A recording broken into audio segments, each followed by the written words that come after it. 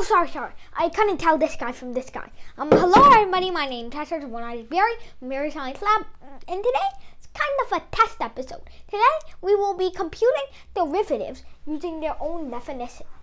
All right. What does that mean? well, I'll show you. Get ready. All right. So you move out of the way. Now let us honor Sir Isaac Newton for creating the beautiful subject of calculus. Well, the derivative of f uh, prime of x when x is equal to minus 1. By the way, f of x is equal to 1 over square root of 3 minus x. But you don't need that information, do you now? Okay, I think you need that information. Anyways, mm, what we're going to do, we're going to start with a classic, people. A classic. We're going to start with the equation we all know and love we don't really love it that much. But anyway, so prime of x is equal to the limit as well h approaches zero of oh, oh sorry sorry sorry of f of x plus h minus f of x over 8. You know mom, you don't really love them. It's the limit equation. So now, let's start by plugging in. Hey? Hey, you're in my way. Alright, so actually, let's not plug in. Why? Because the noggin's not working. But anyway, what is f of x plus 8? We know f of x is 1 over square root of 3 minus x. Again, you don't need that. Shut up, we need that. But anyways, if we plug plus 8 into our equation, we get 1 over the square root of 3 minus x plus 8. And then we can do the same to f of x. And then we divide that all by 8. So now, of course, when we plug in, it's going to give us a denominator of 0 since, you know, u. But, well, can we fix that? Well, yes, using some algebraic trick that you probably learned in 8th grade. So, this algebraic trick will be shown later on. But let's start now by plugging in, because the noggin finally working again.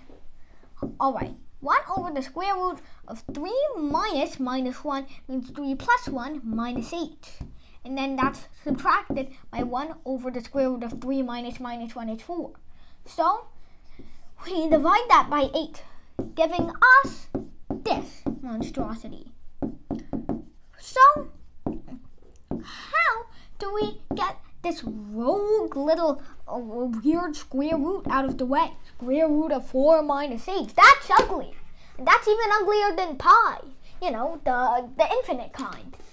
The kind that you can never eat because it's uh, constantly infinite and it never repeats. That, mamma mia, that's a nice pie. How many profiles is that exactly? Alright. Mamma mia, that's an infinite pie. That's a lot of flavors. Or so Volta would say. But anyways, mm, this, the monstrosity we're left with. But how can we fix this?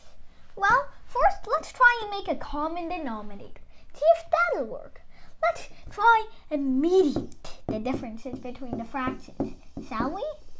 Alright, so let's multiply this fraction by 2 over 2, which gives us, well, 2 over square root of 2 times 4 minus 8. Then let's multiply this fraction by 4 over the square root of 4 minus 8, which gives us 2 minus the square root of 4 minus 8 over 2. 4 minus 8 is divided by 8. Now this looks horrible.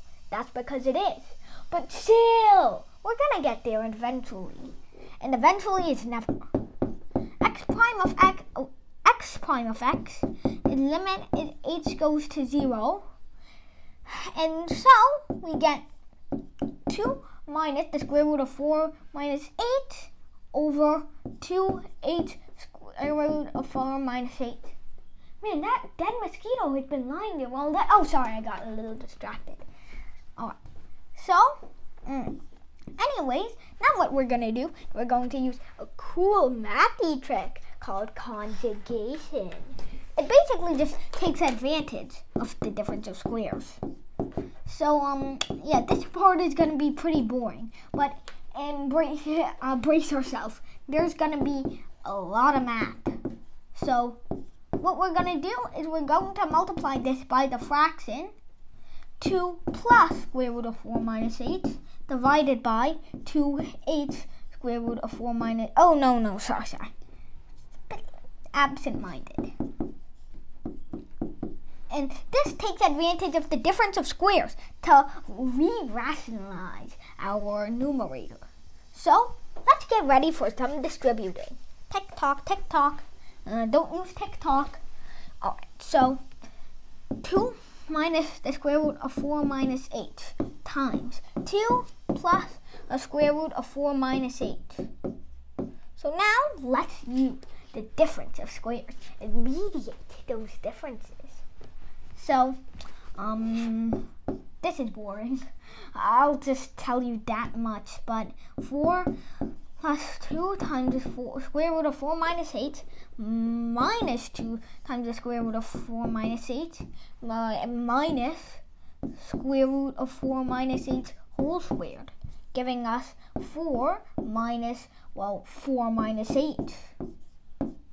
But now we distribute the negative, giving us 0 minus minus 8. Uh, and now what we do is we do a little thing and we rotate this and we make this and we get 8. Yay! So now that is gonna be the top, but what about the bottom? Um, writing f prime of x is getting pretty annoying, so I'll stop.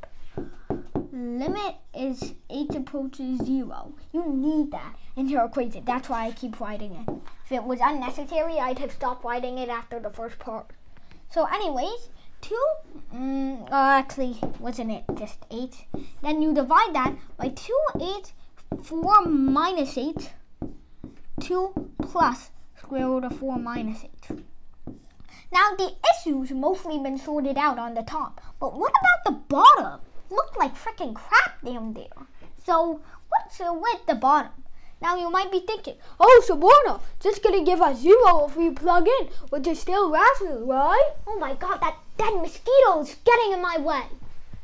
But, well, that's wrong. Why is it wrong? Well, because if we plug in now, get 0 over 2 times 0 times 4, 2, and then that times 2 times 2. But there's a 0, meaning we get 0 over 0. That's not good, is it now? So, instead, what we're going to do is we're going to keep simplifying. And we can actually cancel out this guy and his guy. And so, that gives us the limit is h approaches 0 of not 0, but 1 over 2 4 minus 8, 2 times square root of 4 minus 8 times 2. What the hell is mowing their lawn? Alright, and they stopped, probably because of me. But anyways, this is our new one. And now what we're go gonna do is we're going to multiply, we're gonna crowd in. What we're going to do is we're going to distribute and so that gives us 4 square root of 4 minus 8 uh, plus mm, Professor Soborno. Oh, I'm sorry, sorry. I just lost all my memory. But anyways, mm, 2, uh, 4 minus 8, 2 times 4 minus 8. So that gives us, uh, our limit is 8 approaches 0. Wait, isn't it, oh, um, I have to do the distributive property because I'm losing it. I'm literally losing it in here. Oh, yeah, yeah. So that should be 2 times 4 minus 8 times 4 minus 8. And then you add that with well, 2 or 4 minus 8 times 2. And, well, that should be... Uh, yeah, I got it. I got this. So, 0. So, when we set h to 0, we get 4 times the square root of 4 minus 0 is still square root of 4 plus 2 times 4 minus 0. So, oh, sorry, sorry, sorry. But anyway, that gives us 1 over 4 times 2 is 8 plus 2 times 4 is 8, giving us 1 over 16, meaning that the derivative is 3 plus 4 plus, okay, I'm getting bored. I'm just going to stop at 6. We missed the 5, boys. We missed the 5. Subscribe to Bari Science Lab to fall in love with math and science, especially programming.